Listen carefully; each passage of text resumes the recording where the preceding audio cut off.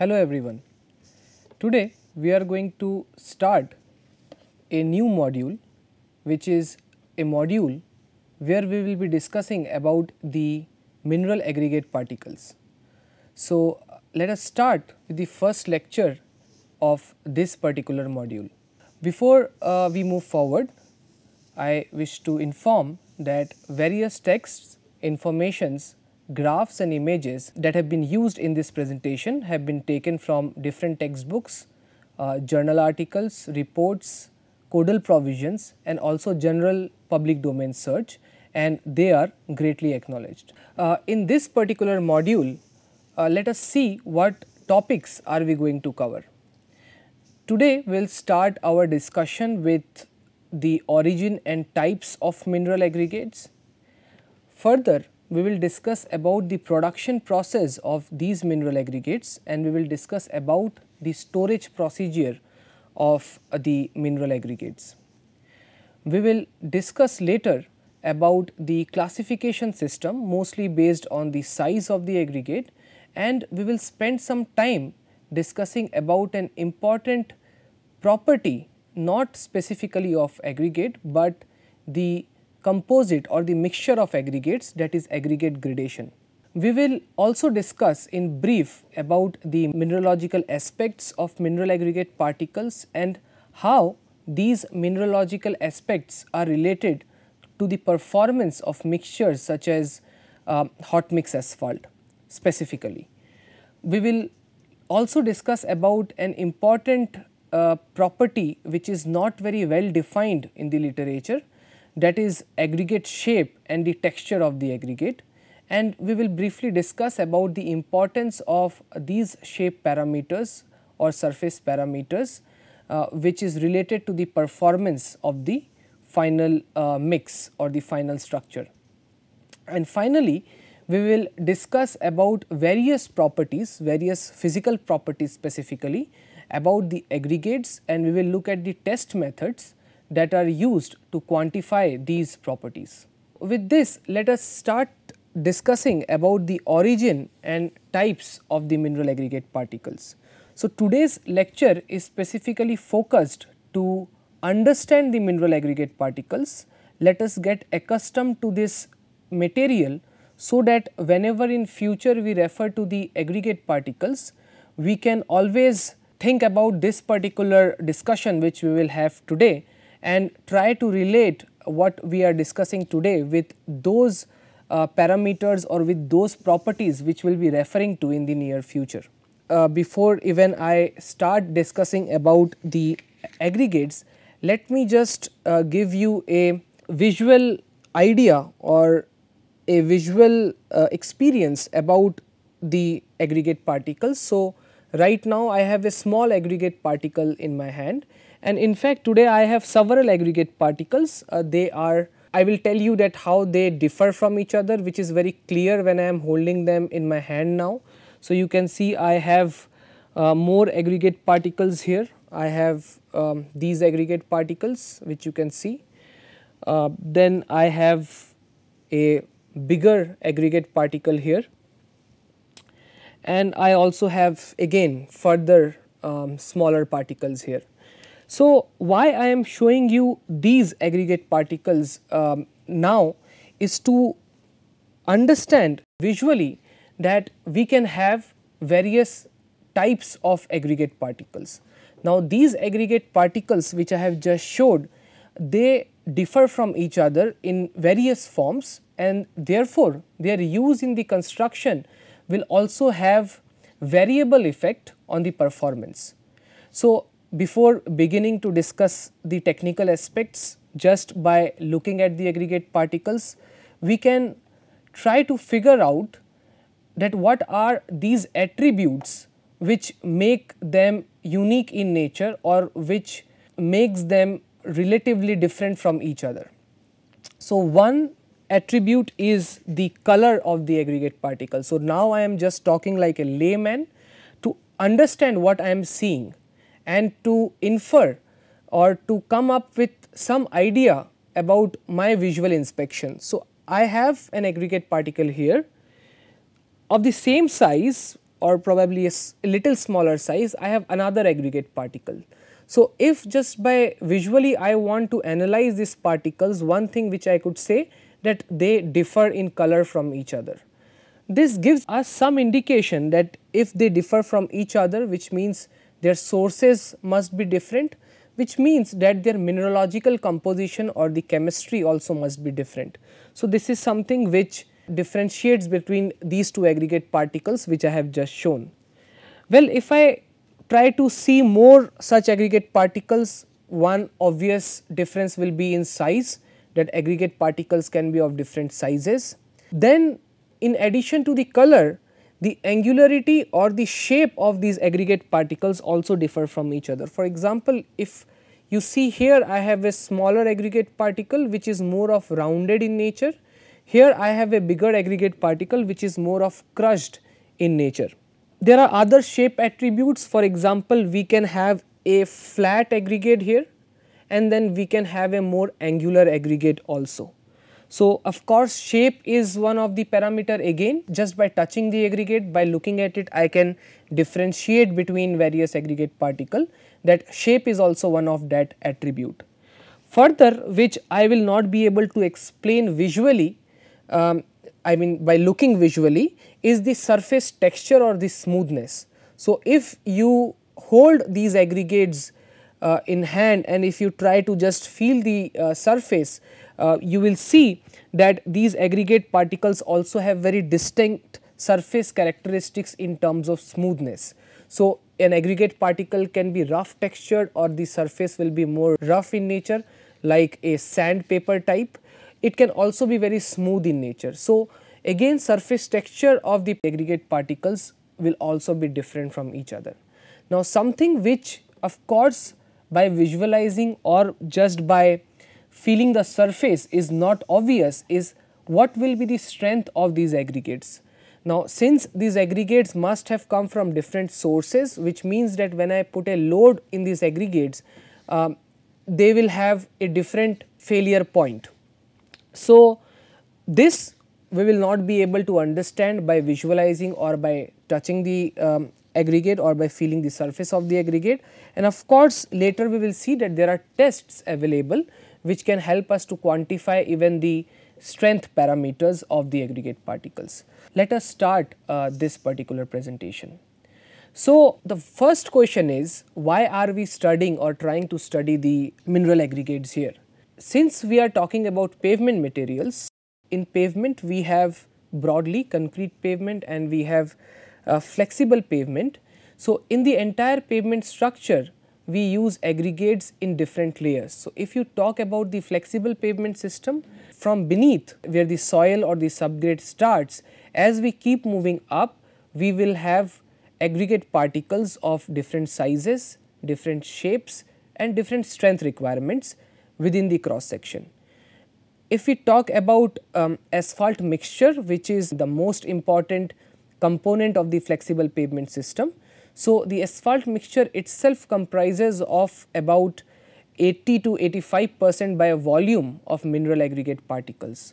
So, therefore, the response of this uh, mixture uh, to any given loading condition will also be a function of the properties of these aggregate particles. On the other hand, in concrete pavement, the concrete comprises of coarse aggregate particles, we have fine aggregate particles, we have cement, we have water and we can also have admixtures. So, here also a considerable amount of volume more than 60 percent of the volume of the concrete comprises of aggregate particles.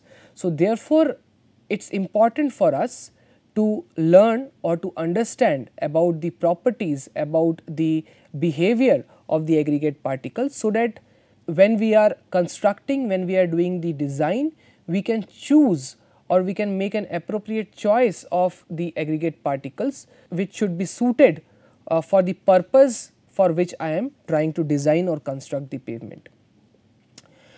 Talking about the types of aggregate particles, there are various types of aggregate particles which can be present. For example, if we try to uh, classify it with respect to the source, we can have natural aggregate particles uh, or natural aggregates uh, let us say. So, natural aggregates they are obtained from the earth crust Once they are obtained from the earth crust, we use some mechanical process to break down these aggregates into smaller sizes so that they can be used for construction. We can also have uh, uh, manufactured uh, aggregates and these manufactured aggregates they are obtained from uh, industrial processing. For example, we can have blast furnace slag uh, which comes from iron and uh, steel making industry which can also be used as an artificial aggregate you can say.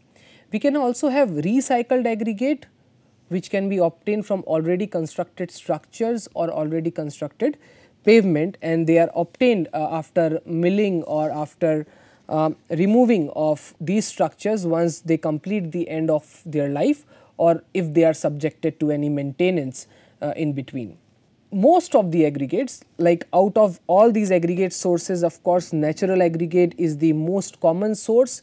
In the recent times the government has put a lot of pressure on using natural sources because they are non-renewable in nature and they are depleting over a period of time. But generally natural aggregates are the most commonly used source of aggregates for uh, construction of infrastructure specifically uh, pavements.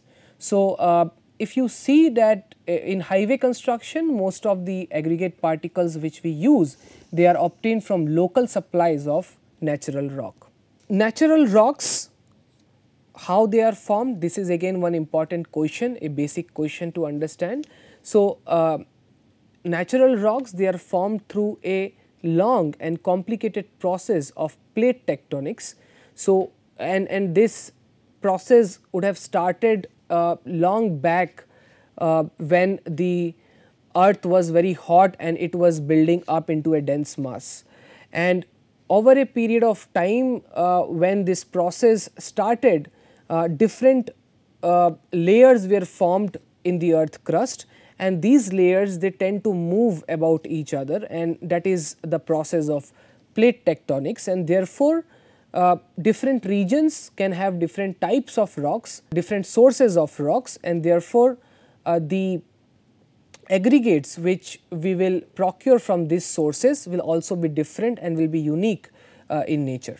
So, based on the rock cycle, the natural rocks can be divided into igneous rock, sedimentary rock and metamorphic rocks. Now, this is a typical rock cycle here. So, you see that most of these sources will be igneous in nature because that is the uh, basic source which comes out once the uh, molten magma has cooled down. So, these igneous rocks they can further be subjected to weathering action, movement uh, or erosion uh, from water um, and several other environmental factors and when this process takes place this weathered rock gets transported and they could get deposited in different forms in layers thus forming other source of uh, rock such as sedimentary rock. Again sedimentary rock uh, is derived from igneous rock, but through a process.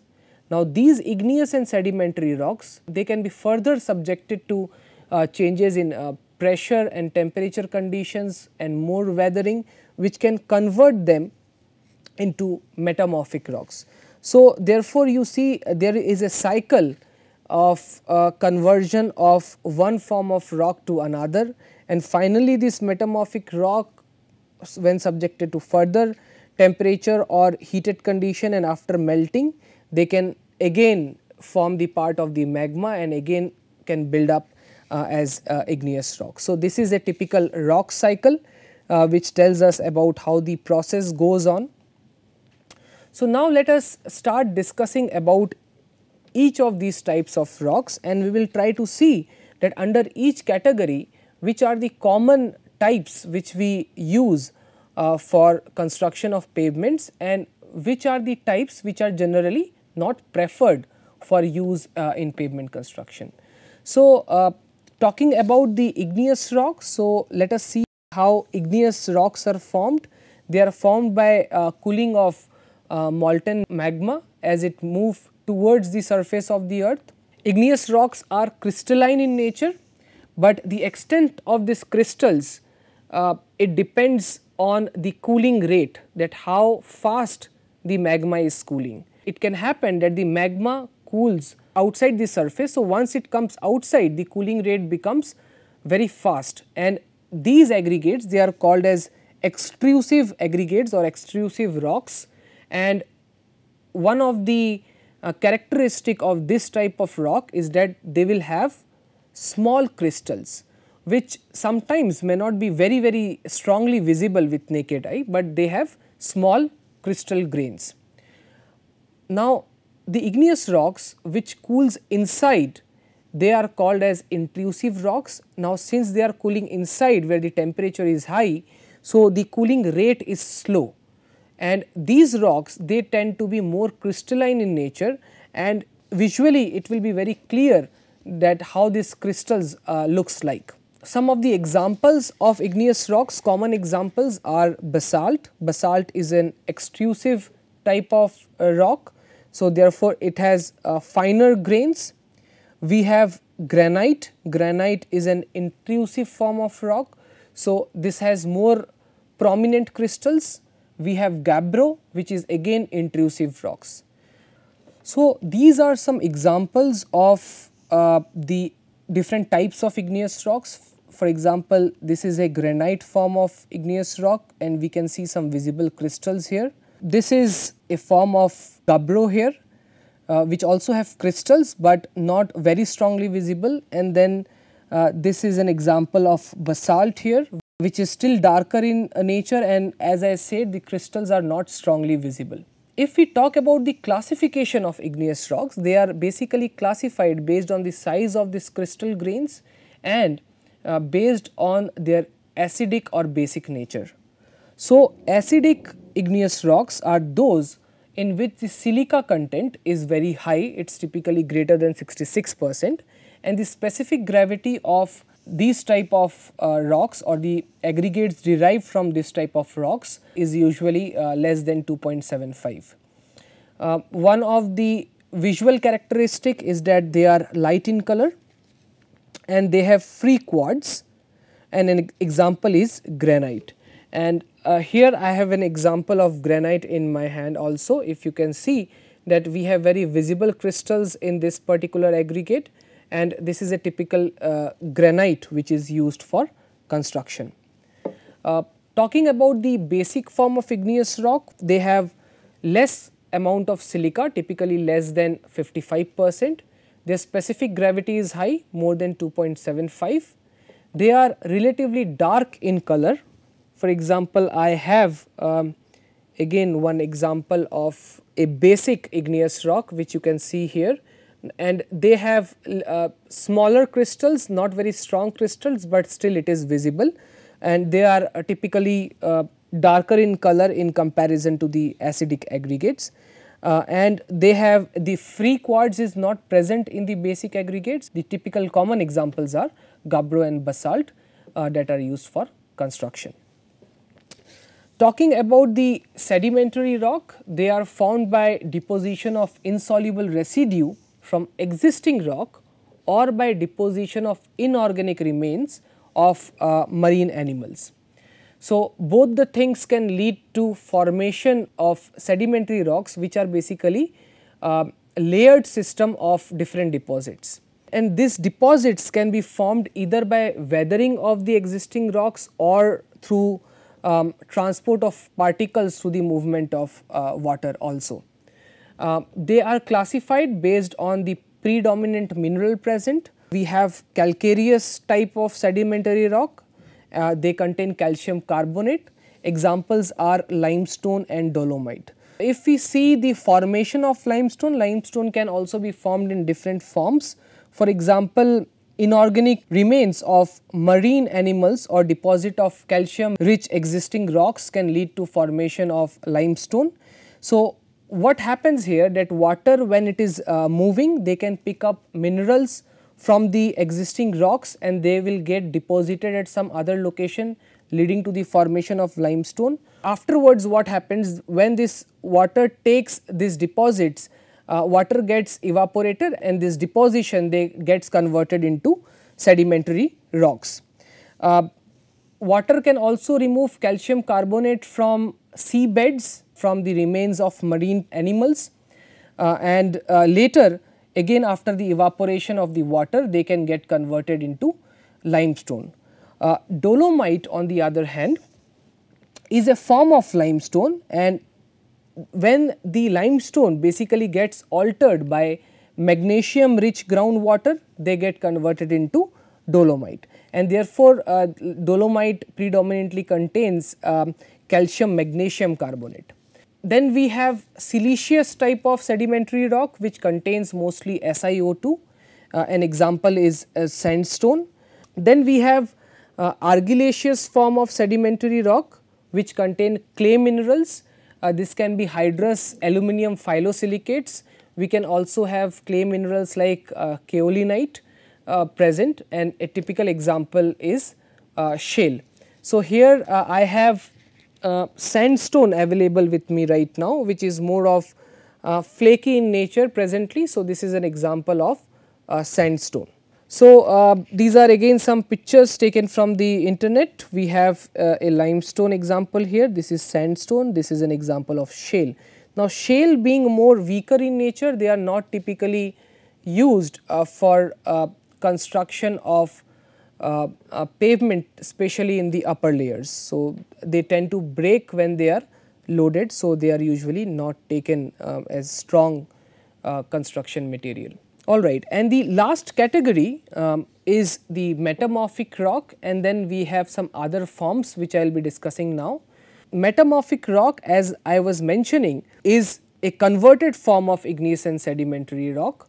So, igneous and sedimentary rock they gets I think uh, we can uh, rephrase the sentence here. It gets converted to metamorphic rocks uh, when they are subjected to heat and or, or pressure in different forms.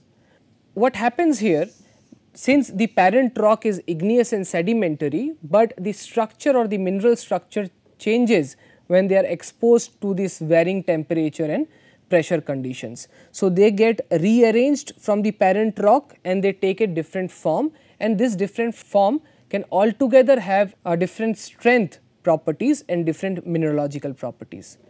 Uh, they are crystalline in nature and are not very suitable for use in pavement construction. When I say not suitable, I am only talking about generally not suitable or generally are not used, uh, but their forms are sometimes used in, in different ways in pavement construction. For example, marble uh, is derived from limestone. Though marble are not typically directly used in construction, marble dust for example are sometimes used as filler in pavement construction. We have quartzite which is a derived form of sandstone. We have slate derived form of shale. We have gneiss which is a derived form of granite which is a derived form of basalt. Then in other categories we have gravel. So, gravel is formed by the breakdown of natural rock uh, which are usually obtained near the existing uh, natural waterways and they are mostly rounded or sub-rounded in nature and they need further crushing before they can be used for pavement construction. Uh, so, you can see we have rounded gravel here and this needs to be further crushed uh, specifically when we want to use them in the upper layers of pavement construction uh, which requires more of angular form of aggregates. Then we have sand, sand is the most resistant final residue of natural rock. Now sand it contains um, SiO2 which is covalently bonded and therefore is not very easy to break therefore is a very uh, strong material. It contains predominantly quartz. The size of sands are usually finer in nature. The size ranges from typically 2.36 mm to 0.075 mm. Uh, they may contain silt and clay particles again depending on the uh, size of the entire sand material. Uh, now silt and clay are materials of further smaller sizes. This is an example of a sand deposit. We can have slag. Slag as I mentioned is a byproduct of metallurgical process and are obtained from uh, manufacturing of steel, tin or copper and, and there can be other processes through which um, you know other forms of slag can be obtained. Uh, they typically behave like igneous rocks which means they are strong in nature, they have good strength, uh, they have good skid resistance also. So, due to this characteristic they are also suitable uh, for the wearing course or the surface layer where skid resistance is desired for safety. However, most of the slag material has higher water absorption and when we talk about the asphalt mix for example, large higher amount of binder may be required in comparison to the conventional aggregates if slag is uh, used um, in construction. This is again an example of slag and visually we can see it is more or less like a conventional aggregate. We can also have recycled aggregates that are obtained from construction and demolition waste uh, or milled asphalt roads uh, which is bituminous roads uh, etc. Um, and their properties need to be carefully assessed before they can be actually used uh, in construction. We will be discussing about reclaimed asphalt pavement and there will be talk that why uh, we say that their properties needs to be assessed carefully so that they can be used for construction. Again this is an example of a RAP a deposit, a photograph taken from a milled pavement showing you uh, the reclaimed asphalt pavement material here. Uh, with this uh, we complete our discussion on origin and types of aggregates uh, and I hope that by now we have familiarized ourselves with what aggregates are, how aggregates look like what can be different types of aggregates. We have also tried to understand that aggregates can be obtained from different sources and what these different sources can be. We have also learned that aggregates can be uh, from of different forms such as it we can have natural aggregates, we can have manufactured or industrial aggregates, we can also have reclaimed or um, aggregates obtained uh, from demolition or construction uh, waste. Uh, with this, um, thank you and in the next presentation, we will proceed from here and we will try to learn about various other aspects related to mineral aggregates. Thank you.